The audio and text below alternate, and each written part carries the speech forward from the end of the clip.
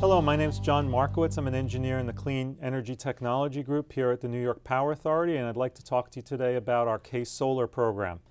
And the objective of our K-Solar program is to allow your school to develop solar energy at your school and to make it affordable and easy to do. It's a partnership program between the New York Power Authority, or NYPA, NYSERDA, the New York State Energy Research and Development Authority, and the New York State Education Department.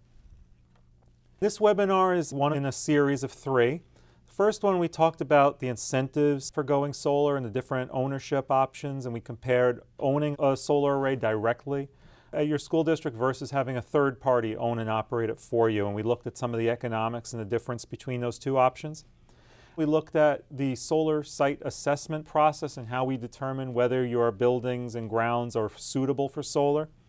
And we talked about the free site survey process and how we can provide you these feasibility reports for free. In this particular webinar, we're going to be talking about what a solar development looks like, what the construction process looks like, how long it takes, and we'll be doing a pretty in-depth discussion of some of the contract terms that are involved in having a third party own and operate solar on your building. So this particular webinar is really targeted towards the school district business managers. As a school district business manager, I would imagine you'd have five key questions about going solar on your school. You'd want to know what are the stages of solar development? What's this process look like? How long does it take? You'll also want to know about the solar PPA or power purchase agreement and what are the typical terms and conditions that you'll have to look through before you can sign one of these agreements for your district.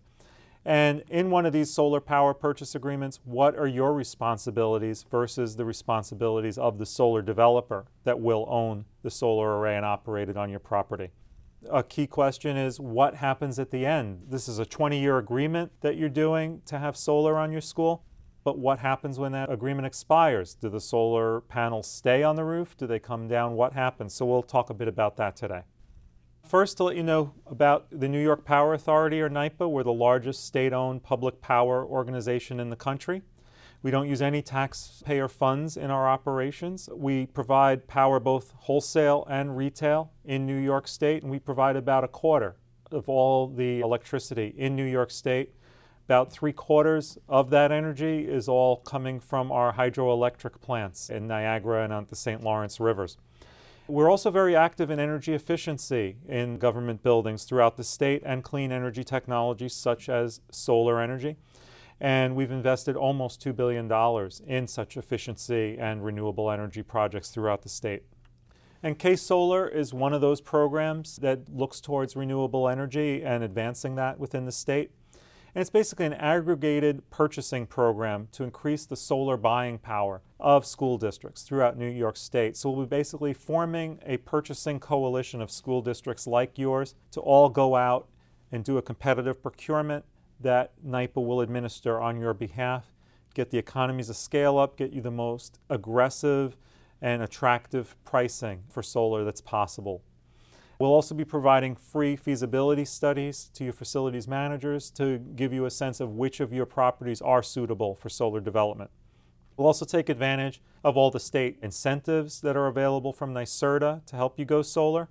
And we'll also be able to take advantage of the various federal tax credits.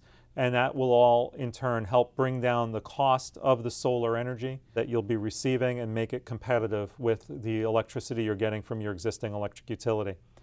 We've also partnered closely with the State Education Department to expedite the permitting process to get you through the whole design, permitting, and construction phase of this program. In terms of the stages and what to expect in a solar development program, the first phase is your request for proposals, and that's the process that NYPA will be managing on behalf of the school districts throughout the state.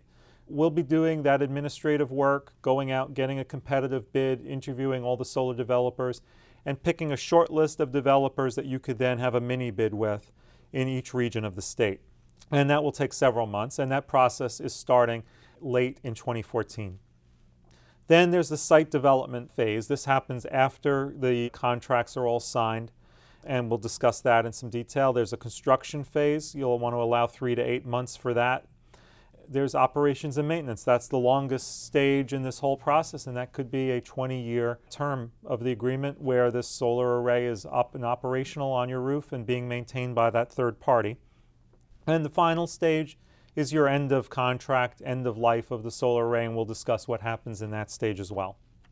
In terms of the timeline for all those stages we just described, you're going to want to allow a year to two years to go through that whole process.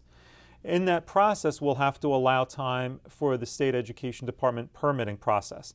So even though that solar array is going to be owned by a private third party, it's still a construction project, it's still happening on school property, and the folks at SED will still want to review all the drawings that the solar developer will provide to them regarding the structural integrity of your roof and also the electrical connection of the solar to the school's electric supply.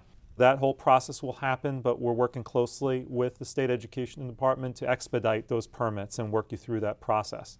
It's an important thing to keep in mind that the federal tax credits are one of the things that really makes solar attractive. Those tax credits are set to sunset. So they're currently at 30% of the cost of the entire project, both labor and materials. That tax credit is going to reduce to 10% at the end of 2016, and your solar array will have to be fully installed and operational by the end of 2016 to get the full 30% tax credit. So we're rolling out this program as quickly as possible to take advantage of those tax credits. And in terms of looking at those contracts, time is of the essence to make sure we can take advantage of all the benefits of those tax credits. I'll talk a bit about the contract terms in each of these phases. The first phase, there's some minimal technical requirements, and we'll be looking at all those in the RFP. In the development stage, it's more about the process and who's responsible for what and what the timelines are for getting this solar array built. The construction phase, there's some terms and conditions we'll want to look at in terms of the commercial operation date. That's the first date that the solar array is up, operational, and exporting power. Also, performance guarantees that this third party will be obligated to give you guaranteed minimum amount of energy every month. They are contractually obligated to do so. So, we'll talk a bit about some of those terms. There's also site access terms and then maintenance responsibilities that come in in the following stage.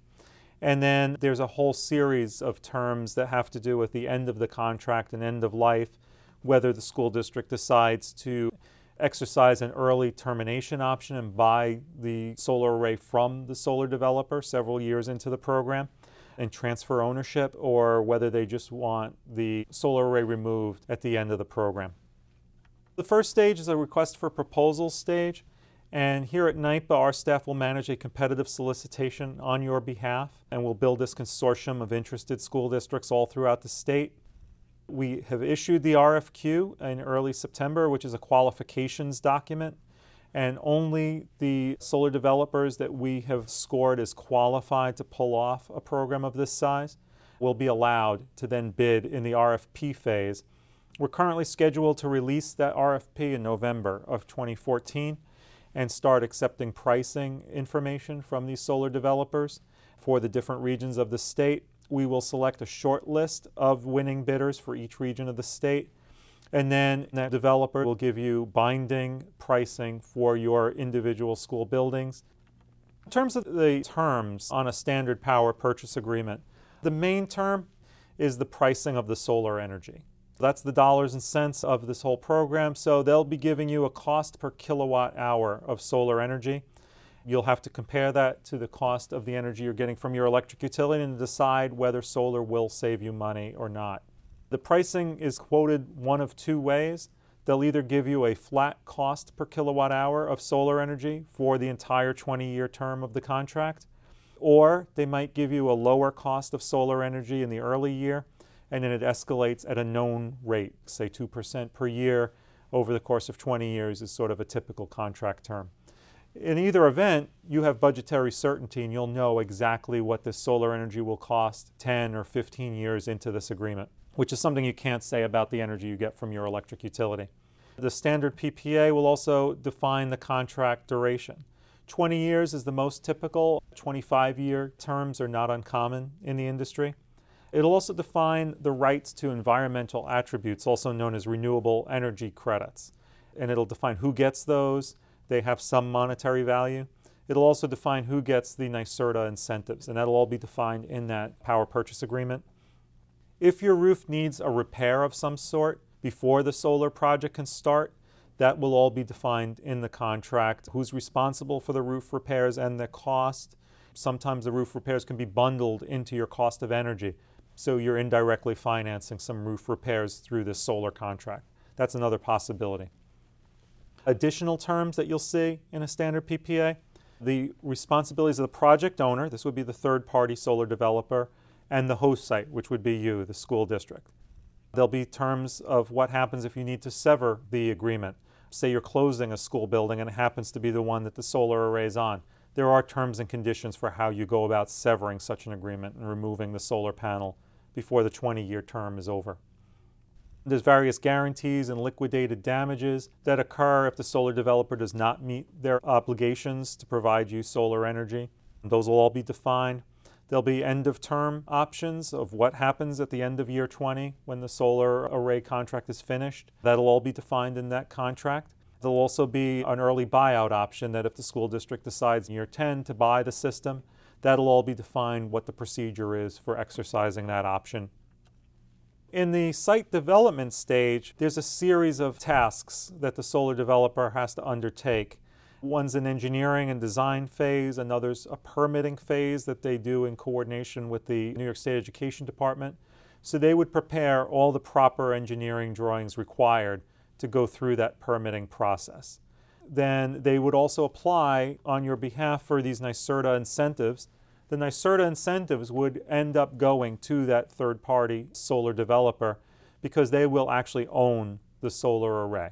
So they will take advantage of all the NYSERDA benefits, the tax credits, use that money coming to them to lower the cost of solar energy to you. And they will also arrange their financing with their banks so that they can go out, procure the labor needed to install the equipment, and procure the solar panels and other electrical equipment as well. In terms of the engineering and permitting phases, there is an electrical inspection involved. There's also civil and structural work to make sure that the school roof can actually accept the additional weight of having solar panels on the roof. The state education department's involved in that whole permitting phase. They will look at the various environmental, electrical drawings, zoning if required, if say it's a ground mounted solar array. There's also a permitting process that entails the local electric utility because you're connecting and running this system in parallel with their system. So they will come, inspect the system, and give you a permit to operate it. The good thing about participating in this kind of third party owned K-Solar program is that the solar developer will do all this work for you. They will be providing all these drawings and working this whole thing through the permitting process with a minimal amount of involvement on your staff because they'll be doing the paperwork on your behalf. In terms of responsibilities, the third party owner of the solar array will be responsible for doing all the engineering and permitting. But you as a host site do have some responsibilities. You will be providing them site access. You will be assisting them in the construction process in scheduling it, giving them an area to store their equipment and so forth, providing them the information they might need in terms of drawings of your building so that they can obtain the proper permits and you will have final design approval. Your staff will have some involvement in the design. In terms of the NYSERDA incentives, they typically cover about a quarter of the cost of doing a solar program, but they do go to that third party owner and they are used to lower your energy costs. A thing to note about the NYSERDA incentives is they have a new program called the Megawatt Block incentive, and it does decline over time. So the earliest schools that apply to the K-Solar program that execute the contracts needed and go into the construction phase, they will get the highest incentives from the state for doing this. So there is a benefit to moving earlier, and solar will be more economical for the first group that goes in. The solar power purchase agreement will have provisions in it to accommodate what happens if the project owner fails to receive the proper NYSERDA incentives. Once that phase is done, we move on to the construction phase. There are several parts of the construction phase. The first one is procuring the solar equipment. Second one is preparing the site. So that might require some re-roofing or roof repair. If it's ground mount, just leveling out the property so that you'd have the site preparation phase. There might be some civil or structural work. Then the final phase is the solar panel installation, which actually is one of the quicker parts of the whole process. Here are some photos to give you a sense of what one of these construction projects looks like. Here's a large ground mount solar array. You could see some of the civil work going on to level out the space, to install some of the mounting hardware that's required for a large ground mount array. Here's some examples of a rooftop solar installation. So you could see how your school district would have some responsibilities of giving the contractor a staging area to put all their materials and to schedule this so that it works with the schedule of your school operations so that they can get the solar equipment up on the roof and get the construction project underway. In terms of post-construction work, there's the electrical interconnection. The solar developer then will connect the solar system into the school building's electrical system and get the proper permits from the electric utility to put it in an operational mode running in parallel with the electric utility. There's a various list of tests that are done at this post-construction phase. Then you do final punch list items with the contractor and fully commission the site and put it into operation. There are some contractual issues in this post-construction phase that we'll want to look at. One of them is the electrical interconnection costs. In most cases, there isn't a significant cost for connecting up to your local utility. But in the event, say your school is at the very end of an electrical feeder from your utility and it cannot accommodate the full amount of export that your solar array might be capable of producing, there might be some one-time costs that the utility would place upon the solar developer the solar developer would then have to negotiate with the school district to determine how much the cost of the solar energy would be impacted by that one-time cost. And that's all spelled out in the power purchase agreement. That would be known very early in the process. Then there are liquidated damages if for some reason the solar developer does not meet their obligations to bring the solar array up to commercial operation on the scheduled date. And there are also performance guarantees that they must meet a minimum production requirement of a certain amount of energy per month coming out of the solar array. In terms of the operations and maintenance, now this is the part that takes 20 years, so this is the longest stage of all the stages. There's really a minimal amount of operations and maintenance that's done. Pretty much they sit on the roof and they do what they're meant to do, which is generate energy. Those solar panels are not washed or snow is not removed from them. They're basically just left there. If they're covered with snow for a week, basically you get zero solar power that particular week, and that's normal. That's part of the program, and that's accounted for in the economics of solar. There is some preventative and corrective maintenance that's done. It's completely the system owner's responsibility. So that third party is going to be doing all of that work on your behalf. Your primary responsibility is coordinating with them to give them access to the site so they could do any minor repairs they might need to do. That solar developer is going to be very motivated to repair that system should any components go down because their sole source of income is the solar energy that they're selling you, the school district, through these power purchase agreements. So if they're down for a day or two because of some equipment failure, they'll be very motivated to send a technician to repair that. Solar panels do degrade over time. Degradation anywhere from half a percent up to 1% per year is completely normal. That's accounted for in the solar power purchase agreement contract. The major responsibility you have as a site host in this kind of contract is to maintain proper sunlight on those solar panels and preventing shade. So any new construction that might shade the solar panels obviously is a problem.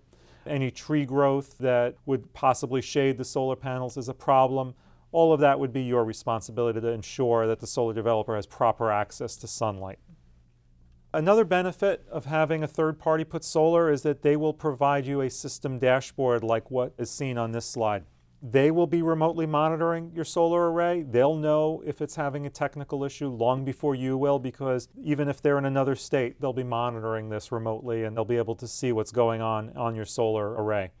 Other benefits are is your staff will be able to see what's going on and you can give access to the general public to this kind of a system dashboard and you could imagine students and parents in your school district would be able to see the solar array, see how its production went up or down based on the local weather and it has a real educational benefit to the people you serve.